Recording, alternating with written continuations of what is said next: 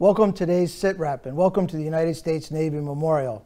Thank you very much for joining us today. As you know, the mission here at the Navy Memorial is to honor, recognize, and celebrate the men and women of the sea services, past, present, and future, and to inform the public about their service. Today's event is all about that fourth verb, inform. Today's live, interactive, online event is available to naval enthusiasts around the country. And as you can see on your computer, you can ask questions. And I have an iPad sitting here next to me, and I'll be checking out for questions throughout the event uh, to ask our guest. We're honored today to be joined by the, the Navy's chief, the Chief of Navy Reserves, Vice Admiral John Mustin. Before I introduce Admiral Mustin, I would like to thank our sponsor, Navy Mutual Aid.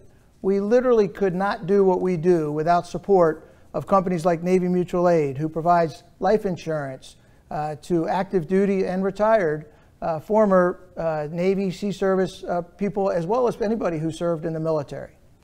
So let's, uh, let's now take the, the opportunity to invite Admiral, uh, introduce Admiral Mustin. it's my honor to introduce somebody I've known for quite a, quite a long time, an active duty officer for 10 or 11 years, served on a destroyer cruiser. I think that's where, I, where you and I first crossed paths and then uh, transitioned into the reserves, went up through the ranks at numerous operational uh, challenging billets, uh, both here in Washington as well as uh, significant operational billets out with the fleet, um, including uh, Commander Expeditionary Strike Group 2. Uh, so, Admiral Mustin, it's, a, it's my great honor to, to welcome you to the National Chiefs Mess and the Navy Memorial. It's, it's fantastic to be here, Frank. Thanks for the invitation. So let's, let's jump right into it, Admiral Mustin. Um, today's environment, uh, as challenging as ever, arguably more challenging than when you and I uh, met, when you and I first came in with China as a looming threat. Uh, this is a big week for you as a milestone with the Navy Reserves, but it's also a, a, very important time. Can you start off with just a, a, status of the of the Reserve Force and give us a little update? Absolutely, I would love to. So thanks for setting the stage for what's going on from a geopolitical context, but also just as a quick data point for folks, when you say it's a, a milestone date for us, uh, Friday is our 108th birthday or 108th anniversary. So, um, in addition to condemning my Force Master Chief and I to lighting a lot of candles, uh, I would tell you we're very proud of the heritage that has resulted over more than a century of reserve service. You know, the, the, Navy Reserve was born uh, prior to the U.S. entry into World War I. And since then, in every major conflict the nation has contributed or has uh, participated in, the Navy Reserve has contributed, even up to the point where in World War II we had over 2 million reserve sailors. So, so that's indicative of the way both that we are built and integrated into our fighting force.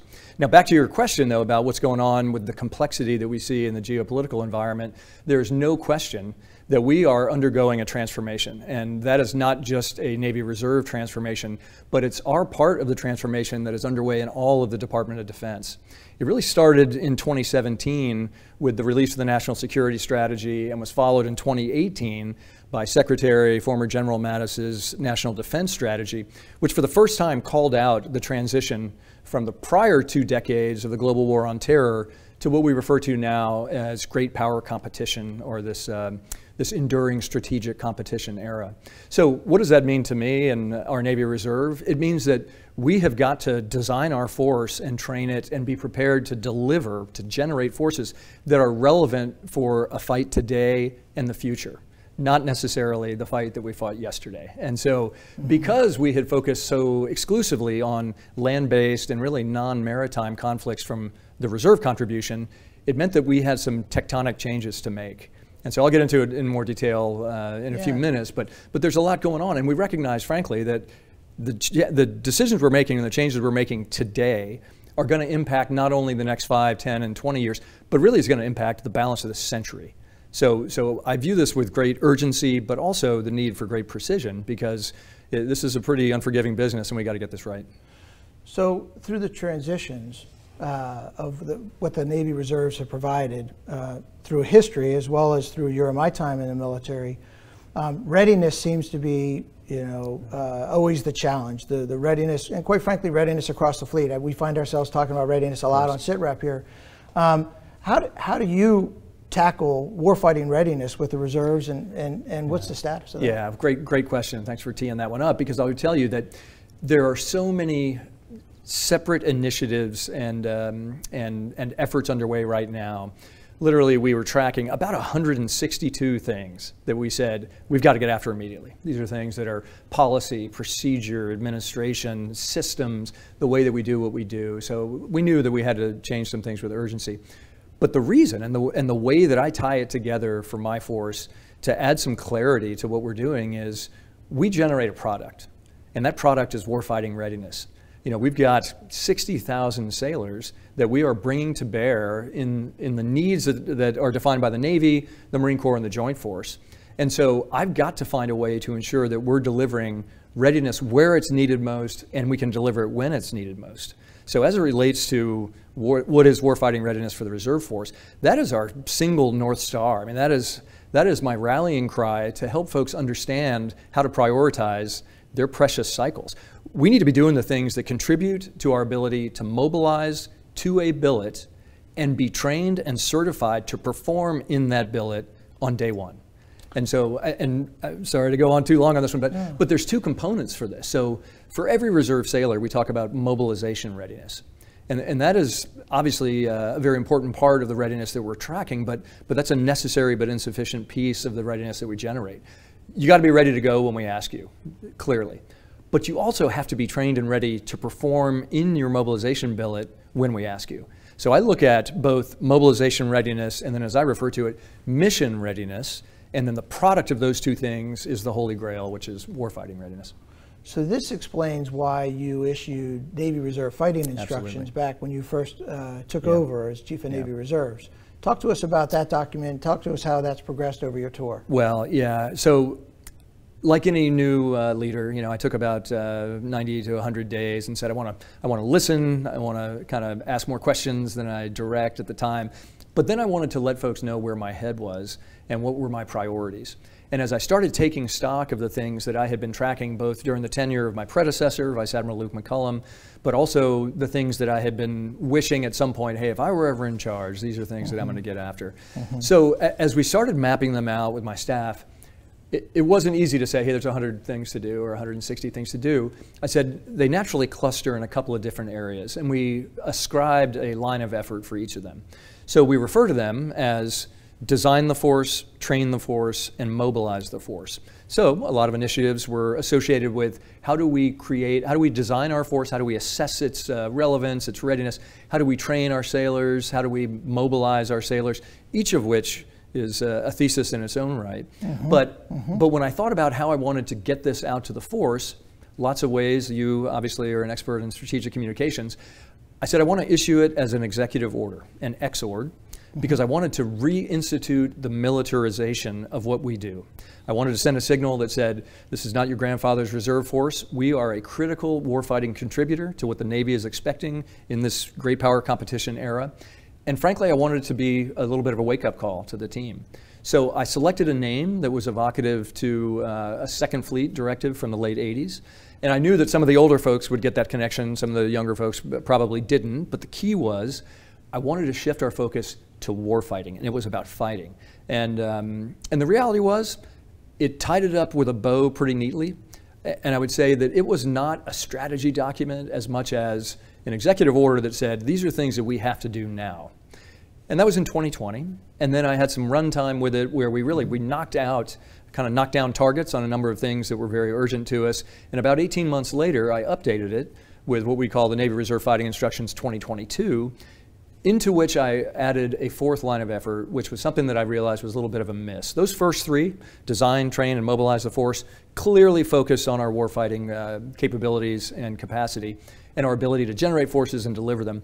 But I left out something that was pretty important that, um, that I wanted to make right, which was develop the force. And that was really, mm-hmm. that's the sailor focused line of effort, so that we can make sure that we're developing the right culture, that we are providing the right environment so our sailors can succeed, regardless of where they come from. I want to harvest all of the great diversity of thinking and talent and backgrounds that we have in our team. So, so we've added this. And by the way, each of those lines of effort is led by one of my two stars. So we have an 08 action officer that's leading them. And, uh, and I get a quarterly update on it. They get a monthly update on it. And we, I keep my finger uh, very tightly on the pulse of how we're doing because, again, these are actions. These are things that we got to get after immediately with urgency. So I think we could spend a couple hours talking about those. Um, and let me just let me zero in on a, on a couple. Um, uh, we talked about China. We talked about the, the long-term uh, strategic competition that we're in. Um, how do how do you evolve your training into being an environment that you yeah. can train to that current force? This is not a short-term effort. Right. You know, how do you right. do that? Yeah. Well, the first thing we had to do was take stock of where are we today you know, if we snap a chalk line and say, how ready are we as it relates to our training?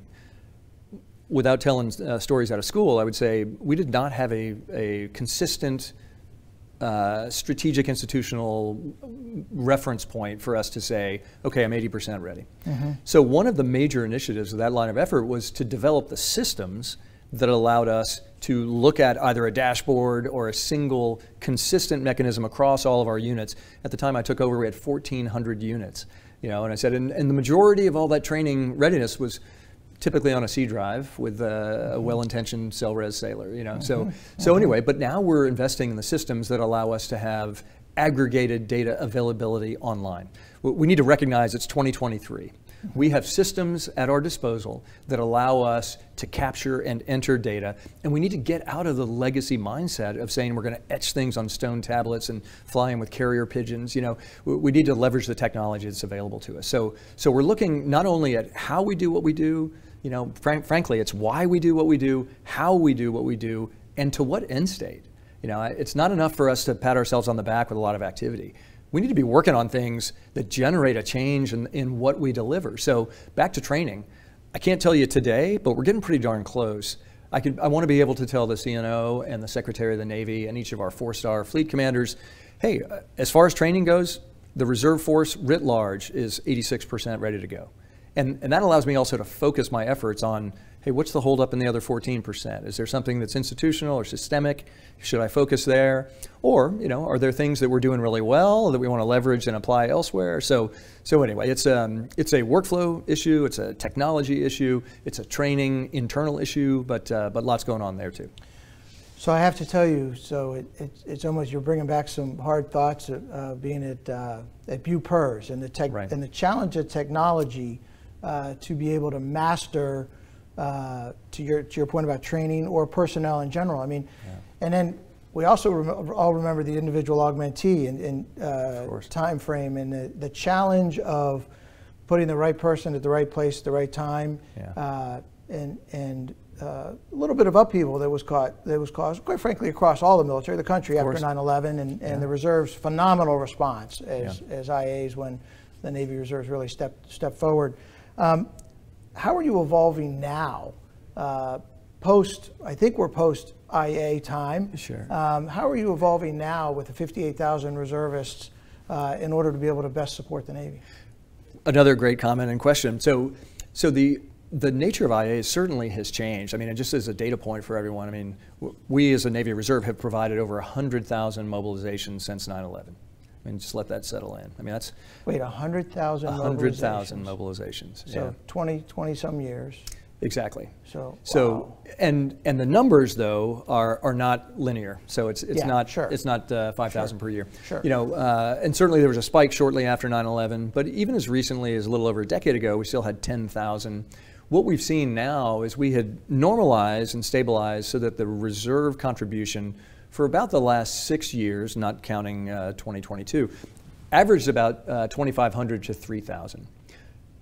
The CNO and the SECNAV uh, recognized that there really was um, a detrimental impact on the reserve force readiness because uh, I think you're probably familiar with the notion of dwell. For every sailor that we send out, we've got a number of years that we can't uh, mobilize them absent a Secretary of Defense waiver. So, uh, so in conversation around the OPNAV circuits, you know, I was saying, how do we want to spend the precious potential of this reserve force. You know, I mean, our, our ready reserve force is 100,000 people. When we talk about our selected reserve and TAR sailors, that's 60,000 people, and that alone makes us the fifth largest Navy in the world. So I said, if we want to spend, you know, the precious potential of our sailors doing IA missions, that's fine. Uh, you know, I'll, I'll get on board with that. I really feel that our two missions are both operational support and strategic depth. And, and to define those amorphous terms, strategic depth is the readiness that we're describing to fill billets and roles that are baked into operational plans and concepts of operations, concepts of employment. So, so back to the IA question the Navy now has been working to reduce the IA burden across the board. And so I work with my partner, the OPNAV N35, Vice Admiral Gene Black. Mm-hmm. I, I, work with uh, US Fleet Forces and, and they're in one to say, okay, where do we see commonality of year over year requirements for IAs? And frankly, if we've done it more than two years in a row, it's probably not an IA. That's an enduring requirement. So, so now we have worked to say we're going to build units or dedicated people instead of IAing them we're going to PCS them. You know, so so it ought to not be plucking someone from a different unit, whether active or reserve. But frankly, we as a service want to get after minimizing the IA burden. So your question was, you know, are we done with IAs? The short answer is we'll never be done with IAs. There will always be some degree of joint demand from our combatant commanders. And, and for that demand, uh, I am very comfortable saying the reserve force has a share of contribution. The reason being because I feel like our sailors actually get great expertise. They get reps and sets. They get to do what they do based on the construct that we're using now for mobilizations, which we refer to as billet-based activation. You know, we're not going to take aviators and send them to Djibouti to do uh, security force work. You know, we're going to say for sailors who have unique training, certifications, credentials, or are in units that do specific things that map to requirements, then that is a billet-based activation. And again, I, I, think that our sailors are knocking down the door to, to fill those billets. I mean, we view mobilizations favorably. This year for FY23, we're seeing about 14% of the total burden. We've got a little less than 1,000 total. So again, the numbers dropped. Only 14%. 14% involuntary. So, you know, 86% of our uh, mobilizations are folks who raise their hand and say, hey, I want to go do that. And, and I want to encourage them to continue doing it because they're the ones who are going to come back better trained, better qualified, better ready uh, to perform the mission if we get into a whole of government response. well, then I would think when you use the term billet based, yeah. I mean, that's, if I'm in a job and I'm asked to deploy to do that job, that's very different than if I'm in a job and I'm deployed to go do something different. Exactly. To your point about exactly. the aviator and, and oh, yeah. security. Yeah. I mean, so that's that's just a fundamental different. I mean, I think we we tried to do that as much as right. we could post right. 9/11, but there were times where you had to put a round peg in a square hole, and yeah. and now what you're doing yeah. is with this, with billet based is is more focused on not the individual, but the, the skill set. The role, the yeah, absolutely. Yeah. And by the way, this is not just reserve. I mean, what we're looking at as a service is one, how do we continue to reduce the IA burden totally? And then secondly, how do we reduce the triple whammy impact of saying, hey, if I'm at SURFPAC and I take someone out of my staff to go do something for a combatant commander, you know, that has a, a a direct impact on my readiness as a staff to perform my mission. So the, the standard chatter is, hey, it's painful to me because I am not, uh, I'm not staffed, billeted, or trained to do these missions for IAs. And that's equally applicable for reserve and for, uh, for the active Navy. Sense. But that's why the billet-based activation makes a lot of sense for us. Yeah, love that. Yeah. So I have a, we have a question here Great. Uh, from the audience, and, and I kind of want to tie it into this, uh, yeah. into the billet-based part. Uh, Lieutenant Katie Lindman asks, with decommissioning some of the LCSs, how does that impact the 1,000 billet LCS Surface Reserve Force? and will they be located uh, allocated elsewhere? And, and, I'd like to take that question and maybe address sure. that, but but also to your point about how you're organized. Are you still, in, and for our audience across the country, are you still organized such that you've got billets assigned to active units as well as yes yeah. reserve units that you can yeah. draw on for strategic purposes. A- absolutely. So uh, let me get to Katie's question in a second, but just to, ask, uh, to answer your question. So there's really three ways that the reserve force contributes to the Navy, the Marine Corps, the Joint Force. So we have operational units, which are units that train and certify and deploy as an entity or a unit of action. So I think of my uh, VR squadrons. You know, um, mm-hmm. they have detachments that are enduring. You know, right now we've got them in Indo-PACOM, we've got them in EUCOM, we've got them in CENTCOM. Um, I think of NECC, you know, our maritime security squadrons. We've got boat units that are on a regular uh, global force maritime or global force movement uh, rotation, so they know when they're going to deploy. SEAL Team 17 and 18, Special Warfare Task Group 11. Um, I look at my cargo, cargo, handling battalions. These are all hardware units that train, certify, and mobilize as a unit of action. So that's a third of our first, a force. So that's 30 percent. The other 70% uh, referred to as readiness units, and they provide augmentation to existing units. So if, I, if I'm part of a Navy Reserve unit for Second Fleet, I would mobilize two Second Fleet, whereas a cargo handling battalion would mobilize as a unit, not to a unit. Got it. The third way, though, is the recognition of our civilian skills. So, like we see at Task Force 59 now, working for uh, my friend Vice Admiral Brad Cooper out in um, uh, Naval Forces Central Command uh, or Fifth Fleet. We've got some folks that do some pretty spectacular things out of uniform. And we like to tap into that to bring them to, uh, to allow them to bring to bear what they do as civilians. So we've got PhDs in artificial intelligence. We've got C-suite, Silicon Valley, autonomous uh, autonomous vehicle companies. You know, and these folks are raising their hand, saying, "I would love to go spend a year standing up Task Force 59, which is our unmanned task force." But that's applicable in a hundred other categories where I could make your head spin with some of the raw talent that we bring to bear from the reserve force. So, so that's really the model that I draw from and, and how we're providing support.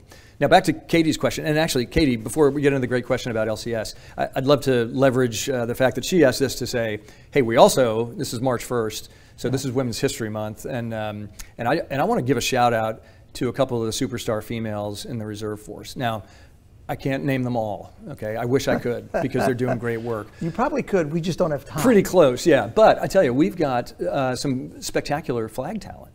You know, so I've got uh, Eileen Laubacher, Nancy Lacore, uh, we call her J-Mac, but uh, Jackie McClelland, Paula Dunn, uh, Pam Miller, Kim Walls.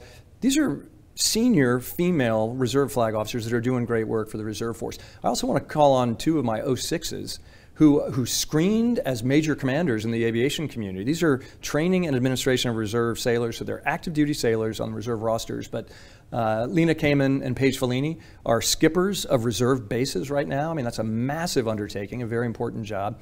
And then lastly, uh, I would be remiss if I didn't give a shout out to Lieutenant Commander Amy Thomas, who's my aide and does a phenomenal job every single day. But look, that's a small tip of the iceberg on the great work around our force. But, um, but anyway, back to Katie. All right, Katie, when we started the Littoral Combat Ship Reserve Enterprise, it was 1,000 billets. And that was based primarily on 20 units of 50 people. That has since changed over time. So that was about 2016 and 2017. Today, we really only have about 430 billets that are assigned explicitly to littoral combat ship support. Your question was, are they being distributed elsewhere? And the answer is yes. So now we have stood up DESRON specific maintenance execution teams. So still under the SURFPAC and SURFLANT umbrella. So they still remain uh, N96, which is our uh, surface warfare director, and I'm N095. So they still remain under us, but we're redeploying them. And the reason we are is because, as you alluded to, while we decommission some of our littoral combat ships, SURFPAC and SURFLANT still have a pretty important mission on the waterfront. So while we have those sailors, we've repurposed them to address the realities of today and tomorrow as opposed to the realities of yesterday. So great question, but it, it brings to mind the importance of the iterative nature of this design the force line of effort. So I, I don't want to say every 10 years we look at what we've got and decide if we need to change it. You know, we need to be more nimble so we can say, hey, this is happening in real time. What's the response for the reserve force to address it? So I have to tell you, Admiral, you, you said about three things in there that I want to leverage off of. First of all, I, I want to say something about you bringing up uh, Women History Month and the successful yeah. women in the Navy. Here at the Navy Memorial, so first of all, you, we walked through the Zumwalt exhibit. And, right, right. you know, Zumwalt uh, has a famous quote about saying, hey, this isn't about equality or anything like that, it's about talent. And why wouldn't yeah. we go seek the best talent? And right. boy, I can tell you, sitting here, you mentioned Admiral LaCour, uh, the regional commander here. We, sure. we, have a lot of interface with. She's great. I mean, it, the the it's almost uh, it's almost beyond the time of when you even male, female, right. whatever. We're all right. in this together. Um, but let me let me go back to the first thing you were talking about, Fifth Fleet, and um, somebody you and I both know very well, Kevin Wensing, sure, um, is in, in. And typical Kevin, he's actually in with about five questions. Um, but uh, let me let me drill one on one that because uh, you alluded to it with Brad Cooper and Fifth Fleet. And he talks about your role in training naval forces from allied nations um, and, and the interaction uh, in the international force that I've seen during my time uh, has been uh, tremendous. Where, where, are we now yeah. with, with, with, So it's interesting. So I have reached out to my international counterparts. And in fact, we've done staff talks with my UK counterpart. In fact, she'll be back in the States, uh, I believe it's next month, to come talk uh, with us. And um, my interest, of course, was to align and frankly learn from what our partners are doing in the UK, Canada, Australia, and New Zealand as a starting point. But I go to the International Sea Power Symposium also, mm-hmm. and I mm-hmm. meet with my mm-hmm. reserve counterparts to talk about what can we do. And, and I want to be really careful when I talk to them because, as I mentioned, you know, our reserve force mm-hmm. is huge compared to most navies. So when I talk to my reserve counterparts from the international um, uh, nations, what I find oftentimes is, a, is they're a little daunted by the scale that we bring to bear. Mm-hmm. My interest, however, is to say, I want to learn from how you do what you do. We're big, but in many cases, I think that we're inefficient. And so I've looked at the UK in particular has a couple of pretty interesting models where sailors can self-select and declare their readiness for a given year. I mean, so we uh, as sailors are empowered by Title 10 mm-hmm. that gives us a weekend a month and two weeks a year as a minimum requirement. It's 38 days. You know, in many cases, we've got sailors that are doing over 200 days of support, mm-hmm. and that's you know that's provided by funding that I have to offer discretionary support. But you know, I look at 38 days and say, okay, that was designed in 1915. Today, mm. maybe we need more time. Mm-hmm. You know, that was originally designed to account for the mobilization readiness. Today, we can do mobilization readiness pretty quickly. In fact, I can mobilize 50,000 sailors in 30 days. So, so I don't need 38 days per sailor. What I've told my force is, I think you probably need two visits to the reserve center per year, two drill weekends. And that should get all your admin sorted out. The rest of your time should be dedicated to warfighting readiness getting trained for the billet that you're filling. So as it relates now to the international navies, we continue to uh, to spitball with one another. You know, hey, how do you do it? Why do you do it that way? How well does it work? You know, I certainly share what we do, uh, but I am keenly interested in what they do because I think we got some room for improvement. Yeah.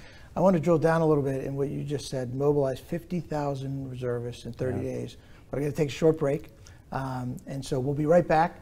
Uh, stick with us. A lot of questions are coming in. And uh, we'll try to get to a couple more of them, as many as we can here in the second break. Uh, we'll be right back. People we serve at Navy Mutual are like family. Navy Mutual is a nonprofit organization that was founded in 1879, providing life insurance products, service, and education to members of the military service and their families. We understand them because we have served ourselves. Everything we do every day is about serving our members We treat them like we would treat our family. It's all about the member.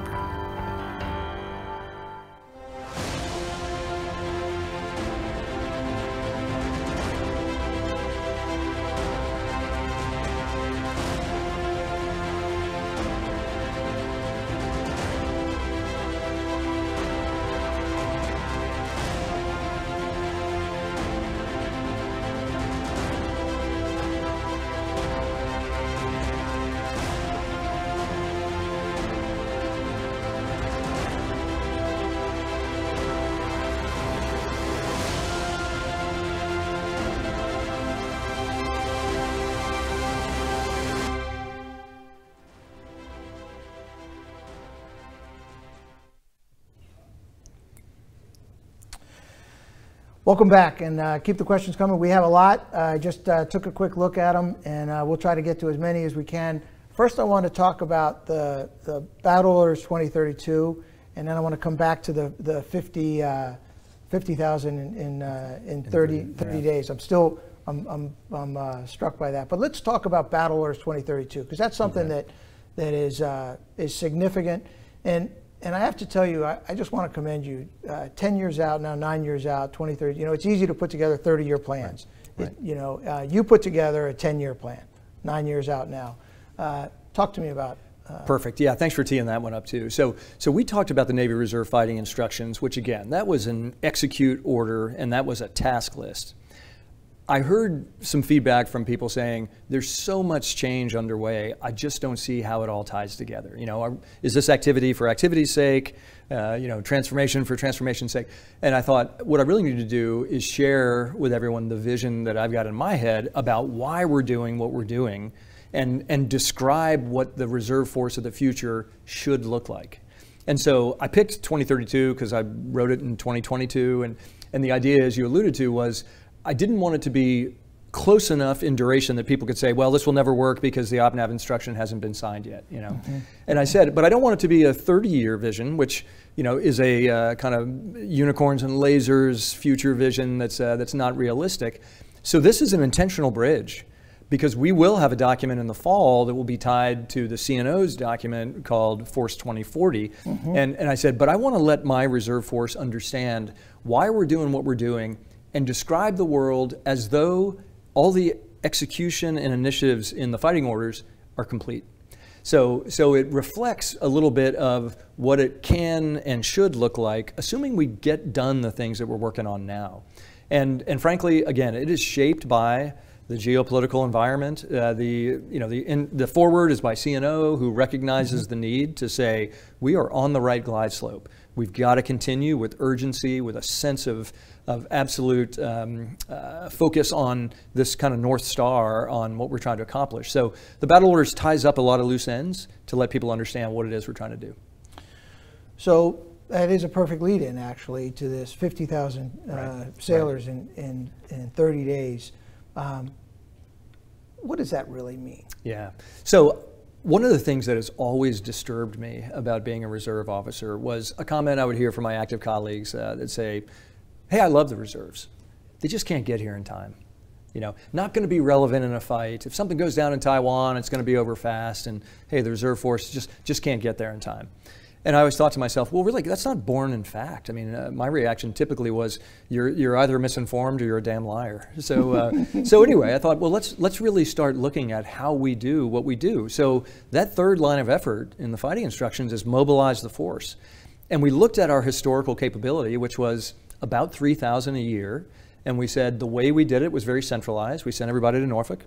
We uh, transitioned their status from reserve to active. There's pay account changes. There was some administration associated with what we needed them to sign up for and how we got medical benefits transferred. And then we would often send them to Fort Jackson or we'd issue their Kevlar and their kit and then we'd send them downrange. We know that is not going to work for us in the future. Again, a future fight is not going to be enabled by trying to get 50,000 folks, which is really the, the size of the selected reserve population. Mm-hmm. There aren't enough flights the reserve, right. uh, I'm sorry, the airport's the size of this room here, you know. Yeah. So it would be impossible to do that. So we created via this line of effort a number of different approaches and activities and even units to say we call it distributed activation and distributed mobilization. You know, I said at the time I had 123 reserve centers. Where's their skin in the game when it comes to mobilizing selected reserves? I mean, We've got sailors in every state and territory, almost every zip code in this country. Why would I send them to Norfolk? You know, especially if their ultimate duty station is Pac Norwest or San Diego or Hawaii. The vision, as articulated in the battle orders and certainly in the fighting instructions, is I want our sailors to be activated from the reserve center or the NRA, the Navy Reserve activity, closest to them. And I want our operational units, that one third of our force, to have organic mobilization capability so they can mob themselves and get down range. You know, time is of the essence, and I always say the clock is ticking on this stuff. We, we don't have time to say, well, it'll take us six months, you know, because we've been averaging, hey, 3,000 a year, you can do some back of napkin calculations. I said, that's about a couple hundred a month. I need 15 times the throughput in 1 12th the time. The only way to do that was to leverage our Reserve Forces Command, our readiness commands, our S4 commands, our S5 reserve centers, and all of our operational units to get them to understand how to mobilize, how to demobilize, how to distribute the sailors to get them where they need. So, so anyway, so we took a very centralized process and we decentralized it. We shared ownership. All of this, by the way, in conjunction with NECC, the Naval Expeditionary mm-hmm. Combat Command, Fleet Forces, uh, CNP, my partner in all of this. So uh, I'm not executing this in a vacuum. I mean, this is the Navy's approach to getting sailors where they need to be fast. I have to tell you, I'm a little struck with um, your your earlier discussion about the age of the Navy Reserves and thinking yeah. through, thinking, doing things different, and you, what appears to be now the Navy Reserves questioning and answering how we used to do things to make it better. Yeah. Um, I had the opportunity to watch your your Shark Tank. Oh yeah, yeah. Where right. you where you uh, brought people in and said, "Give me good ideas," and right. and you know, right. no chain of command. I mean, their ideas came up through the chain, but but they got to present to you directly. So as you think differently, and and you know, there, there's a couple questions in, in the from the audience here that deal specifically uh, a little granular, right? right. That, that deal with specific areas, um, and I'll, I'll bring I'll bring one up in uh, specifically. But the question I guess I would ask is, how do you create a Navy Reserves that breaks through the barriers that you've known have existed Yeah. for 30 years. So Matt Previtz here asks, a great deal of, of cross-aligned sailors throughout the reserve force. Um, with MOB to, to billet realignment, is there funding available to travel with supporting command more than once a quarter? Those kind of questions, I, I gotta believe you hear Yeah. that a lot. How do you break through uh, to, to, to get the right person to the right place at the right time? You bet. Awesome. Well, hey Matt, thanks for that great question. So, so first and foremost, every one of these tactical problems that we have endured, in some cases suffering in silence, really can be traced back to an institutional framework that doesn't support our needs. So one of the first things that changed my tenure from any of my predecessors was our getting the vice chief to establish 095 as a resource sponsor. So I control the budget now for the Navy Reserve. So that $3.7 billion per year, all of our discretionary reserve program Navy and O&MNR, you know, that, that money now that right? allows me to move with much more dexterity and to be much more flexible in the association with analysis to execution. So, so that is a lever that is at my disposal that my predecessors didn't wield. And as a result, I'm moving a lot faster on a lot of things, not for lack of trying or interest from my predecessors, but, but I have better tools available now. Now, as it relates to Matt's question about cross assignment, I, let me correct for the reserve force listening here. I would say we, I, I don't allow my people to talk about cross assignment anymore. We have sailors and they are assigned. It Doesn't matter where they live, they are assigned to a unit. If you live in Sioux Falls, South Dakota, but your unit is in Norfolk, Virginia, then there are only a few reasons why you should be at the Reserve Center in Sioux Falls, South Dakota. Maybe it's medical, maybe it's uh, uh, physical fitness assessment, maybe you're taking a Navy-wide exam, or you're doing your um, uh, some GMT, you know, general military training. But for the most part, I don't want my selected reserve sailors at the Reserve Center unless it is contributing to their mobilization readiness. Every other iota of energy in uniform should be spent qualifying in the mobilization billet. And that means working where the action is, which is at their supported command. So back to the specific question, is there, is there funding for more than once a quarter? The answer is absolutely.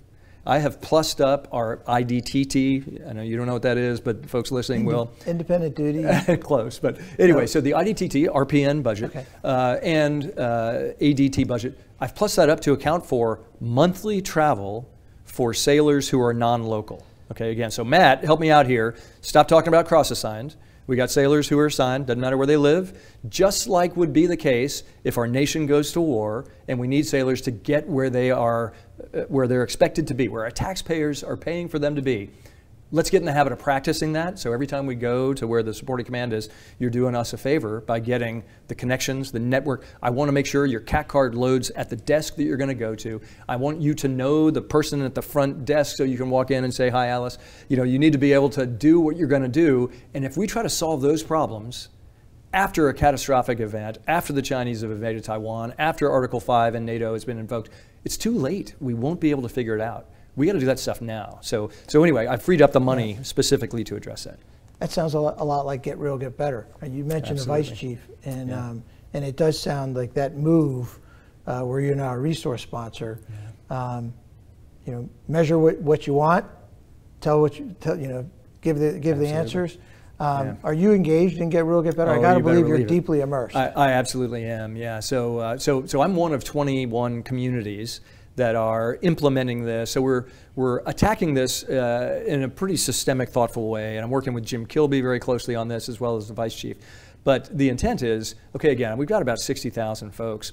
We are now in the midst in FY23. Our goal is to train every khaki sailor in the tenets of what Get Real, Get Better is all about. So, so there's certainly something to be said about exposure to the thought process, to the analytical rigor that goes into you know things like um, acting transparently. I mean, clearly we want to create an environment where our sailors are able to say something's not working. You know, embrace, when we say embrace the red, it's you're not going to get your face shot off if you tell me something is not as good as it could be. My question is, thank you for sharing that. What can I do to make it so that it's better?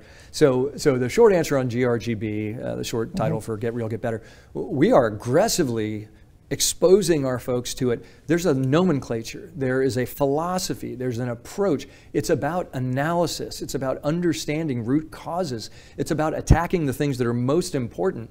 And and I embraced it before I'd heard of it. You know, the, Yeah. these are all things that make so much sense to me that I'm very enthusiastic about it. And frankly, it boils down to Fortune 50 good business practices. And, and that's why I'm so into it and into the implementation because I don't want those things to originate from my office. I'd rather they originate from the sailors, from the deck plate, like we did with I3 waypoints, as you described. And, and one other comment, too. Uh, uh, back to Women's History Month, something I'm very, very proud of is a result of a question that I got at an all hands call. And I just sent this petty officer an email this week because we just launched something called the In Service Procurement Program. This is the first time the Reserve Force has ever had a program that is a commissioning program for TAR enlisted to TAR officer. If you were a talented enlisted sailor and you wanted to be commissioned, before this year, you had to seek a commission in the active duty Navy and then petition to transfer later. So this came about because I had an E5 that said, Sir, I'm interested in commissioning programs, but I'm a TAR sailor. Uh, It looks like I have to do this in the active Navy. Is anybody looking into this? And I said, Wow, I, I wasn't even aware, but I'm looking into it. So I sent her a note to say, The NAV admin just went out, and I want you to tell your boss and your peers that this happened because you asked that question. You know, so uh, we didn't call it "Get Real, Get Better" then, but Yeah. but it's another example. You know, we we have good ideas at all levels, and there's no monopoly on them in the 095 office at the Chief of Navy Reserve Staff. So I want to hear them. I want to hear them from all levels because there's a lot we can do better, and oftentimes they're going to come from our young folks. Well, we're getting a lot of questions here, so my commitment to you is I'm going to get you a copy of all these questions because Sure. I, I don't think I'm going to be able to get to all of them. Um, uh, and there's some, some pretty good questions. Let me let me uh, some of them in here deal with, with hardware, and I, I want to talk about. Uh, you know, we do, we talk a lot about people with the Navy Reserves because it is it is about people. Um, do you have the hardware that you need? Do you have the, the, the resources you need uh, to do what you need to do, um, especially now as a resource sponsor? Um, I mean, it 50,000 people in 30 days. I mean, it, you know, Yeah. I'm gonna I'm gonna those numbers will be with me Yeah. forever. But do you have the resources that you need to be able to do that? The answer is complicated. Uh, I, would, I would start by saying yes, but. And so when I talk about hardware, you know, I'm looking at our VR squadrons, C-130s and C-40s, our, uh, our adversary squadrons. You know, for the audience that doesn't know, we fly F-18, you know, Super Hornets, so Rhinos. We fly F-5s, we fly F-16s. We've got a VAQ squadron flying Growlers. You know, we've got an HSC squadron. We've got uh, an HSM squadron. Um, so, so we've got a lot of hardware. You know, I'm buying 93 40-foot patrol boats for NECC. We've got currently we've got the 34-foot Sea Ark, and we're transitioning now. You know, our cargo handling battalions. We're buying expeditionary VLS reload kits. So the answer is we've got hardware. I can always use more, but as a resource sponsor, like every other resource sponsor, every single dollar competes for the most urgent requirement. You know, if you ask the CNO, do you have what you need? He'd say, we need more ships, and, and we do, you know, and so my dollars compete with dollars that would go to ships. So, so I don't want to be greedy, but I will take the opportunity to, to talk about my number one recapitalization priority. My C-130s, okay, so the Hercules airframes, um, I mean, they are in every theater around the globe right now, and they are the most responsive uh, intra-theater lift uh, capability of any service. And that's a reserve-only mission. There are no active duty C-130s. So anyway, mine on average are over three decades old, which means the mission capable rates are low, the pressure on the supply chain is challenging. Lockheed doesn't make them anymore because we've transitioned to C-130, KC-130 Juliet. I'm flying Tangos. Every other service that flies Hercs, active and reserve, has transitioned to Juliets. I'm the only one flying Tangos. So, so we are in the process now, and CNO has identified this as a priority in his navigation plan to recapitalize the Navy Reserve Herc fleet by 2030. So I need 32 of these by 2030, but they're not cheap. So, uh, so we're pursuing the first on my unfunded priority list, uh, or not my, un, but the Navy's unfunded priority list to kickstart in FY24 the procurement of those new airplanes. But, but it's one of many examples. I mean, if you talk to any other resource sponsor, they would say, I need more destroyers. You know, I need, hey, what's the cruiser replacement? DDGX, what's that look like? So uh, I'll make do. I mean, I always look at this and say, okay, does budget drive strategy or does strategy drive budget?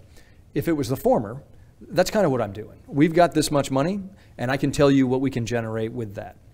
If we had more, if you want me to do this much, it costs more. And so we, we are very discriminating. You know, I mean, I can map that down to the dollar, and I can tell you, if I had, you know, X dollars, I can give you uh, Y additional readiness. Um, so, that, and that's not unique. That's the same Yeah. no- nomenclature every resource sponsor uses. So it's building a business case, Absolutely. which, which ties back uh, to your 2032 plan. Right. What, what does the Navy Reserve look like in, Yeah. in 10 years, now Yeah. nine years, at the end of your 2032 Well, plan? Well, I, I tell you what. So, thanks for asking that too, because it won't look like it does today. I would tell you right now. I, I agreed to buy 15,000 new computers for our for our force, because we had folks that were waiting 30 minutes every morning to reboot their computers, because they were seven years old. You know, I mean, you know Moore's law. I do too. Uh, but I told my staff, I said, I do not want to get into this tail chase operation where we continue to just buy hardware. CPUs get old, there's not enough RAM, every software program gets bloated. You know, that's a fool's errand.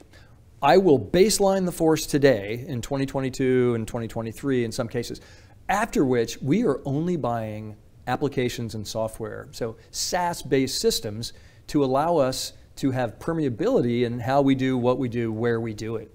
There's no reason that you need to go to a reserve center to sit on a computer if you could do it from your iPhone, your iPad, your Mac. I mean, already something called the Azure Virtual Desktop. I've got mm-hmm. 6,500 of my sailors signed up on this. Right now, no cost to sailors. I mean, uh, ultimately there will be a cost to me, but we're the pilot test for the Navy on this. You have your NMCI, lap, uh, your desktop on device of choice without a CAC reader, you know, fully OPSEC compliant. So, so that's the future. When I start talking, when I think of what do we look like in nine years now, it's we're not tethered to a desk because there's an Ethernet cable on a machine there. We're going to be a mobile, permeable, adaptive, flexible force that trains differently at either centers of excellence or on the road uh, at their time, uh, time and place of their choosing, and can achieve certification and qualification with JQRs and PQSs and NOBCs, AQDs, NECs in a way that is uh, that is digestible for a reserve force, a distributed force with families and civilian um, commitments. So that so uh, we're running out of time. I got to get to people. I got to get to recruiting and retention. Uh, big in the news today across all the military, active Absolutely. and reserve. How's the, how's the Navy Reserve doing with recruiting and retention? We're not doing well, but we're getting after it. So I would tell you right now, we're about 2,000 bodies short of our projected end strength. Okay. And every one of those billets is precious. You know, they're baked again into war plans and operational plans, concept of operations and employment. You know, we need, the, we need our people. I, I view this as a two-sided equation. One is we need to be better at recruiting, and then uh, at, simultaneously we need to retain better. You know, for every sailor we retain, we need to recruit less. Um, unfortunately, this is a little bit of an error carried forward. We had several years where we didn't make goals, so we had an increasing deficit towards projected plan. We've done a number of things in the last year and a half that I'm very proud of. We stood up a recruiting reserve command. So I've got a TAR Commodore 06 who is laser focused purely on reserve recruiting. We haven't had that in over two decades. So we've got a whole team that now, and working with the recruiting, so uh, Admiral Lex Walker, before him Dennis Velez, and CNP when it was John Nowell, and now Rick Cheeseman, have, my, have been my partners in this because they recognize the importance. So, so we need to be really clever and, and think differently about how we attract the talent we're seeking. In my world, I want 80% of our affiliations to be prior service. So we're working upstream to get to sailors in fleet concentration areas who have identified that they are transitioning either to civilian employment or to the reserves. And, and I want to make it clear to them that this is an employer of choice. In fact, CNO and I just cut a video that's being shown at every transition assistance program class, which is saying, shipmates, thanks for your, uh, for your service, thanks for your family. I want you to meet my friend John Mustin you should consider serving in the reserve force. And I will tell them if you want to pursue uh, education, whether graduate or collegiate, do it. If you want to start a family, if you want to start a company, you know what? I did all of those things and continued to serve, and you can too. And you will get retirement benefits and medical benefits, and you can get uh, post 9 11 GI Bill benefits. Lots of reasons. The most important one being the camaraderie and the sense of service and the patriotism that comes with serving in the reserve force. So I was going to talk to you about that, about what you what you tell uh, folks, 80%. Uh, that's that's a big number. Yeah. Um, and you've addressed that. I, I guess the, I guess I would drill down a little deeper then and say, what do you wish people knew that they don't know about the Yeah, Navy Reserves? Yeah. Well, first to clarify, so right now it's 60 40. I Okay. would desire it to be 80. And the reason being, it's hard for me to send people to BUDS or flight school or sub school. And, you know, it's tough. In some, in some cases, I can get them to, uh, to A schools to get an NEC. But, but if they walk off uh, of a former command with a warfare device, I can put them to work immediately. But, uh, but what do I want them to know? I, I want them to know that we have a sense of purpose. You know, this is not your grandfather's reserve force. You know, even my recollections when I was an active duty sailor, you know, 20 years ago, I used to think, oh yeah, reserves, that's the coffee and donut stuff, right? You know, you show up at a reserve center in the middle of nowhere and nobody knows or cares, right? That is not the world we're living in now. I am making fleet circulations and I'm talking directly to our four star fleet commanders about what they need from the reserves, and we're building it. That's the design the force. We're training to it. That's our train the force. We're ready to send people there, mobilize the force, and we're developing our people to make sure that those who want to be a part of this elite warfighting team, you know, you, you, this isn't like a baby bird thing where you come in and say, I'm a consumer of culture. You know, everyone who joins this team needs to contribute to the culture. You know, I only want folks who are ready to come in and be a part of it and add to it. You know, you can't just consume. You know, I want folks who make it better every day. So, so anyway, there's a lot that we're doing right, and I think uh, I wish everyone knew it. So there's probably a, bunch of reservists watching here today. Uh, what's your message to the to the reservists who are who are out there? Well, I hope they've heard it all before because I spent a lot of time trying to make sure that I'm communicating to them. But the number one message is keep up the great work, gang. We are doing phenomenal work. I mean, I talked to the CNO, I talked to the Secretary of the Navy. Again, our four star fleet commanders, our numbered fleet commanders, type commanders, SysComs. I talked to them all, and the message is always the same. I couldn't do what I do without your folks. So I am really proud of, of everyone's contribution and what they're doing. I mean, every day. I mean, I, really, I meet someone every day that makes that blows me away with how talented they are. The flip side is, we are in the midst of a transformation, and we are far from done. So let's not rest on our laurels, and, and let's not uh, break our arms patting ourselves on the back here. We got a lot to do, and I'm proud of the pace uh, that we're getting after it, but we're far from done. So, so we got a long way to go, but keep up the good work. So Admiral Mustin, when um, when I invited you to come onto this, um, I promised you we'd be out an hour because I, I said because I know you're busy. I'm even more convinced of that now because I don't know about everybody's watching, but I'm exhausted just you know hearing what you're, you've got going on. So um, so I promised we'd get you out of here in an hour, and uh, so that we'll run out of time. Anything you'd like to add before uh, before we wrap up? Just one thing. So to add a finer point to your very first comment, I, I remember like it was yesterday. It was Ensign Mustin and Lieutenant Commander Thorp, and and to this day, I tell everybody that uh, you taught me everything that I know, but only a little of what you know. Well, uh, well, you're very kind, and uh, I would just remind you you're a three star. and, uh, and and seriously, congratulations on a uh, just a you know having known you and, and uh, watched what you've done through the years. I mean, you know, you, you mentioned the stereotype reservists, and and you you and your leadership and the rest of the reserves out there are just doing incredible things. Um, you know, back before you were commissioned, I remember in '89 when uh, the reserves were called upon, and we've come so far uh, in the time that, that since I've been involved with the Navy, what the reserves are contributing. So, uh, so thank you, thank you. Well, there's more to come. Yeah. All right. So thank you very much for uh, for joining us uh, for the sit rep. We've got a, a lot of good events coming up. Uh, matter of fact, we have Mick Ponhoney coming on to the sit rep uh, in two weeks. He'll be here on March 14th. That invitation, uh, you should see that tomorrow. Uh, and I got to tell you, at springtime, uh, we're starting to think about springtime here in Washington. Uh, we're going to start doing uh, movies on the memorial here in spring due to popular demand to move it forward. We're going to do April 6th, uh, South Pacific for all you old movie fans. And then on April 13th, we're going to do Top Gun Maverick, the brand new Top Gun movie. We're going to show it out on the plaza. So we're expecting a good crowd for that. And then the Blessing of the Fleet on April 15th. So uh, a lot going on here at the Navy Memorial. Admiral Mustin, really appreciate what you're doing. Thank you for taking your time to be here on, uh, on SITREP. Great to be here. Thanks for the invitation. Thank you. And all of you, we wish you fair winds and following seas.